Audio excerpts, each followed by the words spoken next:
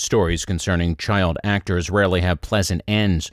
Darnell grew up idolizing Hollywood, but he quickly discovered its numerous pitfalls. Happiness seemed to elude her no matter how hard she tried. Before she even had a chance to change her life, the girl with the perfect face suffered an unimaginable conclusion. She rose to prominence early in her Hollywood career. She did, however, confront challenging situations such as alcoholism, failed marriages, and exploitive relationships. Despite having an adopted kid, her first husband attempted to sell her to a tycoon. She is most recognized for her appearances in films from the 1940s and 50s. She began her profession early and climbed to prominence, but her life ended tragically. Darnell married three times throughout her life. Her husband attempted to sell her to a businessman, and her second and third marriages both failed. Linda was stunningly gorgeous, so it was no surprise that she had several relationships.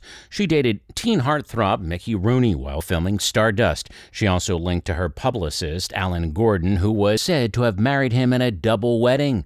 Those reports, however, proved to be false. She also had relationships with Kay Kyser, Eddie Albert, George Montgomery, Jackie Cooper, and many others. Kirk Douglas admitted to having an affair with Darnell, naming her as one of several women with whom he had been unfaithful in his marriages. She didn't have a period at the age of 18 and was told she would never be able to give birth. Her sadness as a result of the diagnosis drove her to drink. However, she never revealed this to the public. She married Peveril Marley, a 42 year old cinematographer.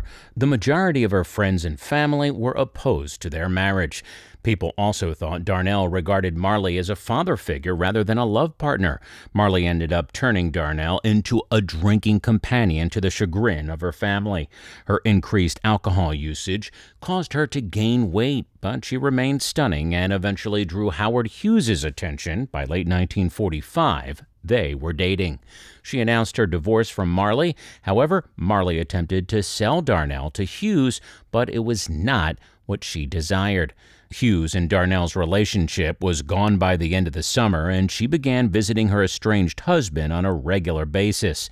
Then, on New Year's Day, 1947, she returned to Marley's house, and the two declared their reconciliation. The couple made the decision to adopt a daughter. They adopted a baby girl called Charlotte.